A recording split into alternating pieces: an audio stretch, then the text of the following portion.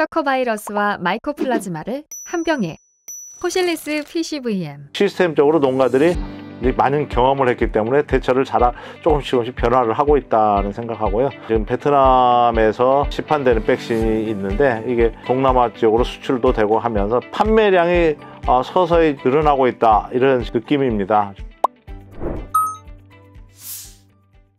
안녕하십니까 도드람 양돈 농협 정현규입니다. 어, 제가 한 6개월 전쯤에 어, 동남아 프로젝트 시작하고 아프리카 돼지열병에 소개 말씀을 드렸는데 그동안 한 9개월 정도 지나서 그동안의 경험을 중간 보고식으로 이렇게 잠깐 말씀드리도록 하겠습니다.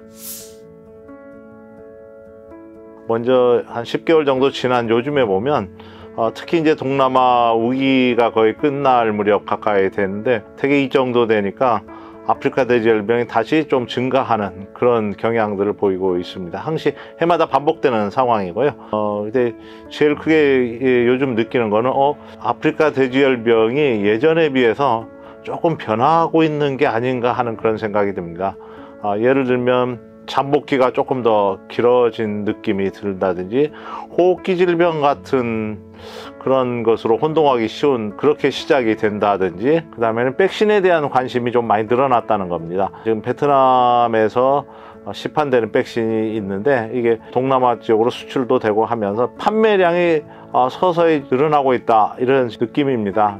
모던하고 포이자돈은 아니고 어, 육성 비육돈에서만 허가가 돼 있고 사용하기 때문에 그쪽 부분에서 좀 늘어나고 어, 있지 않나 이런 느낌을 지금 가지고 있습니다. 그리고 시스템적으로 농가들이 많은 경험을 했기 때문에 대처를 잘 조금씩 조금씩 변화를 하고 있다는 생각하고요. 전체적으로 보면 피해를 보고 그 다음에 바뀌는 농장들이 있고 아, 옆에서 피해를 보는 농장 보면서 아, 이렇게 바뀌는 농장도 있고 한데 그 부분은 우리는 많이 생각을 해야 될 것 같습니다. 뭐 우리도 피해를 본 다음에 어떤 대처를 할 것인가 물론 지금 잘하고 있지만 아, 조금 더 해야 되겠다. 그 나라를 보면서 미리 준비하는 여러 가지를 했었으면 하는 생각입니다. 또 하나는 ASF가 증상도 그렇고 조금씩 변하기 때문에 변하는 상황에 맞춰서 우리가 교육이라든지 정보를 빨리빨리 해서 새로운 대처 방법을 찾는 거 이런 것도 굉장히 중요할 거라 이렇게 생각이 됩니다. 아프리카 돼지열병 피해가 많이 나고 나서 동남아에서도 이제 좀 큰 농장들, 기업 농장들 중심으로 시스템이 많이 바뀌었습니다. 예를 들면 샤워하는 시스템, 차량 진입 시스템, 차량 관리 시스템이라든지 여러 가지 시스템들이 많이 바뀌었는데 예를 들면 그런 것입니다. 예전에는 샤워를 한 번 하고 어, 들어가고 샤워를 하라고 교육만 했었는데 지금은 대부분의 농장에서 어, 농장 입구에서 샴푸가 먼저 나오고 그 다음에 물이 나오고 이렇게 해서 어, 뭐 옆에서 감독을 한다든지 이런 시스템으로 많이 지금 바뀌고 있고요.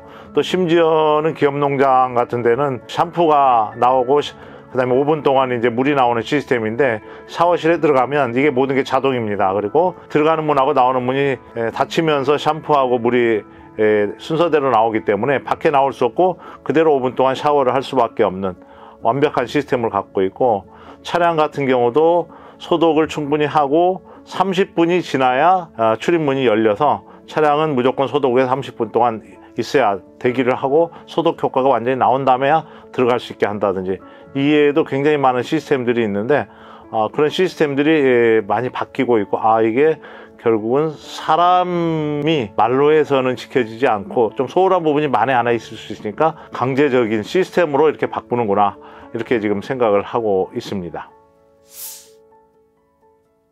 동남아 쪽의 국가들에서 아프리카 돼지열병이 발생한 원인들을 여러 가지 조사한 결과들도 나오고 뭐 여러 가지 나오는데 그 중에 제일 큰 원인은 사람입니다. 보통 뭐 나라마다 약간 차이가 있겠지만 한 40% 정도가 사람이 아프리카 돼지열병을 농장 안으로 옮겼다 이런 수치들도 나오고 대부분 그런 얘기를 제일 많이 합니다. 예를 들면 어떤 오염된 지역을 갔다 와서 샤워를 하, 제대로 하지 않고 들어왔다거나 운전기사 소독 부분 그 다음에 이런 케이스도 있었습니다. 양돈인들의 모임이 있었는데 모여서 골프장에 갔다가 헤어졌는데 그대로 농장에 들어와서 생겼던 문제라든지 다양한 문제들이 있습니다. 역시 사람에 대한 문제를 제일 많이 얘기하고 있고요. 두 번째는 어떤 원인이든 간에 농장 주변에 농지라든지 여러 주, 주변 환경이 오염돼서 어, 주변 환경을 통해서 농장으로 들어오는 뭐 야생동물들 차량 이런 것들이 문제가 된다. 지금 쥐, 고양이, 새 모든 것들이 문제가 되는 걸로 나오는데 특히 이런 것들이 이제 우기가 되면 주변 환경에 더 많이 바이러스가 퍼져서 어, 많은 얘기들을 하고 있습니다. 여러 가지 원인 감염 경로에 대해서 잠깐 설명을 드렸는데 그래서 농장에서는 아까 샤워 시스템 바꾸고 여러 가지 출하할 때도 어, 출하 계류장을 농장 밖에 만든다든지 차량 소독하지 않으면 정문 진입이 안 되다든지 하는 것과 함께 농장에는 거의 모든 돈사는 방충망을 사용하고 있습니다. 방충망이 역시 새, 쥐뿐이 아니고 여러 가지 어, 자그마한 동물들도 출입도 막을 수 있기 때문에 방충망은 거의 동남아, 제가 미얀마, 태국, 베트남 뭐 그에 많은 국가들을 갔는데 거의 기본적으로 모든 농장은 방충망으로 다 돼 있다. 이런 것을 보고 아 시스템적으로 엄청나게 피해를 보면서 많은 경험을 하고 새로운 시스템을 적용하고 있구나 이런 생각을 하였습니다. 최근에 아프리카 돼지열병 백신이 베트남에서 이제 시판이 되고 필리핀이라든지 인도네시아 이런 데로 수출이 되고 이러면서 조금씩 관심이 가지고 늘어나고 있는데 모돈에서는 아직은 적용을 하지 않고 있습니다. 모돈이라든지 포유자돈에는 어, 유산이라든지 기타 여러 가지 부작용 때문에 아직은 적용을 하는 게 허가도 돼 있지 않고 어, 농장에서 당연히 사용하지 않습니다.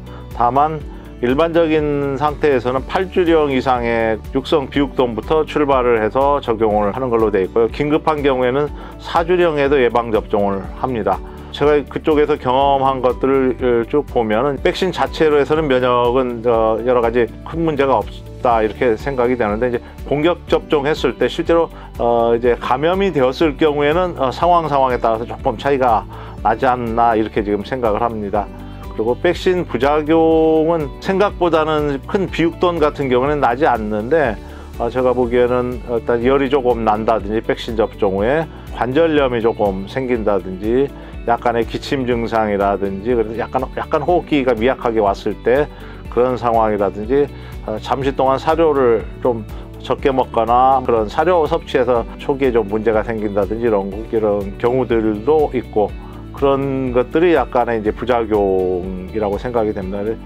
이것 때문에 아직은 우리나라에서는 어, 박멸 정책을 하는 나라에서는 쓰기는 아직은 조금 이르지 않을까 이런 생각은 하고 있습니다.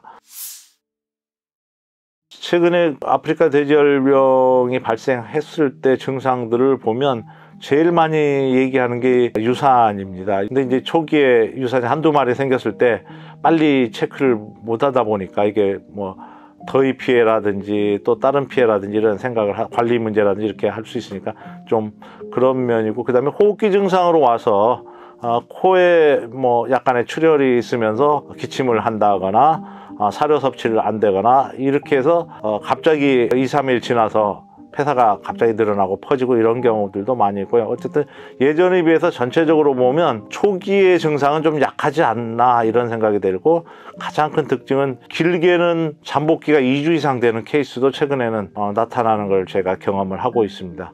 그래서 일단은 어, 늦게 발견한 농장은 그 피해가 오면 아마 뭐 만두 이상 이렇게 피해를 보는 농장들도 있고 하기 때문에 빠르게 어떻게 바, 발견할 건가 이거에 대한 노력이 아마 우리 농가에서 제일 주의해야 될 사항이라고 생각이 됩니다. 발생 초기에 가장 많이 나타나는 증상은 사료 섭취가 조금 줄어든다는 거. 그건 뭐 비육돈이나 모돈이나 마찬가지입니다. 그 다음에 열이 조금 난다는 거, 그 유산이 일어나는 경우인데 구토도 많은 경우에서 나타납니다. 내부적으로 봤을 때는 피부가 크게 변한다든지 하는 거는 그렇게 많은 케이스에서는 나타나지 않는 걸 볼 수가 있습니다. 그렇기 때문에 단순히 외부 증상만 가지고 판단하기는 굉장히 어렵기 때문에 조금만 이상이 있어도 빨리 신고를 하고 검사를 해봐야 되겠다 이런 생각은 합니다.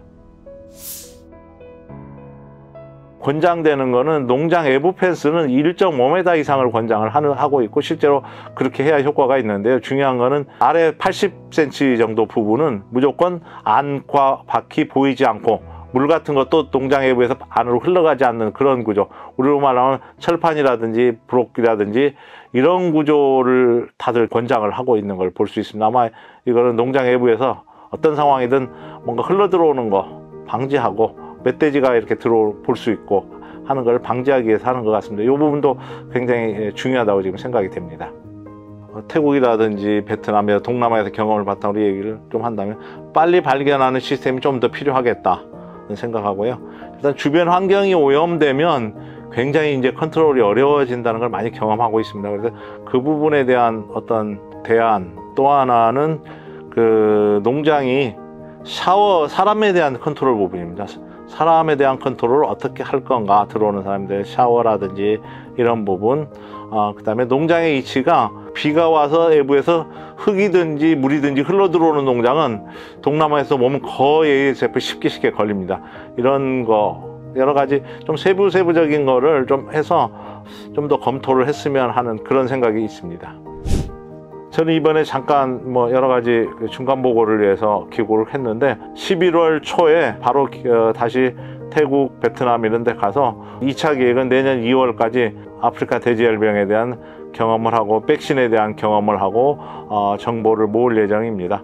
아, 그리고 아마 그건 아마 내년 2월쯤 되면 다시 또 어, 2차 중간 보고를 말씀드릴 수 있을 것 같습니다. 그럼 그때 가서 어, 다시 한번 찾아뵙도록 하겠습니다. 감사합니다.